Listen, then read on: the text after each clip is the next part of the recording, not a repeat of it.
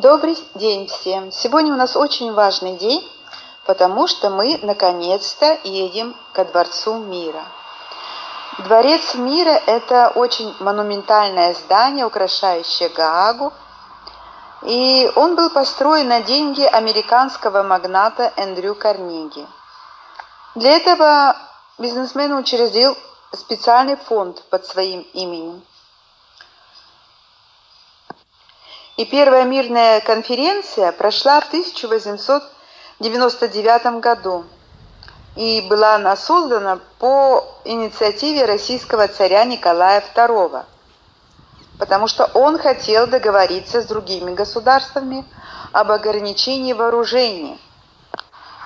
Конференция продолжалась целых три месяца, и это положительно отразилось на различных международных договорах, были приняты не только три международных конвенции, но и создана система международного арбитража.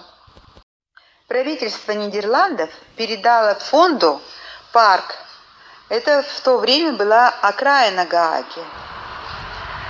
Э, потом фонд создал жюри из голландских архитекторов и провел конкурс проектов дворца. И победил француз Луи Карданье – Здание построено из гранита, песчаника и красного кирпича. Сочетает в себе романский, готический и византийский стили. А слева находится часовая башня с курантами высотой 80 метров. Находящиеся внутри деревянные скульптуры, витражи, мозаика, гобелены и предметы искусства, полученные в дар от государств, отражает разнообразие мировых культур. В 2002 году перед Дворцом мира зажгли вечный огонь, огонь мира. На памятнике надпись «Пусть э, все существа обретут мир». С 2004 года памятник окружен дорогой мира во всем мире, которая состоит из 196 крупных и мелких камней – символизирующих 196 стран. Некоторые из этих камней уникальны. Они включают, например, кусок камня от Берлинской стены и камень с острова Робин, где Нельсон Мандела был заключен в тюрьму в течение многих лет. Я искала камушек моей родины и нашла под номером 143 камушек круглый, больш, большой по сравнению с другими. Эм, но я не знаю, что за сорт камня. Если кто знает, скажите, пожалуйста. С другой стороны находится дерево мира.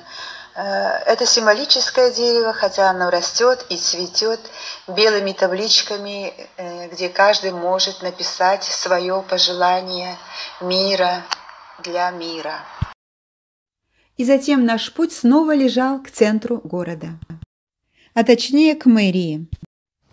Это огромное белоснежное здание с библиотекой и двумя офисами. В народе называется «Ледяной дворец».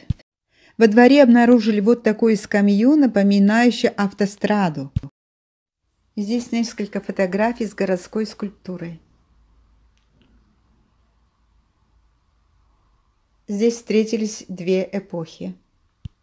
И совсем чуть-чуть торговый район, магазин The Sting. За яркую мозаику на фасаде народ называют коробкой для конфет.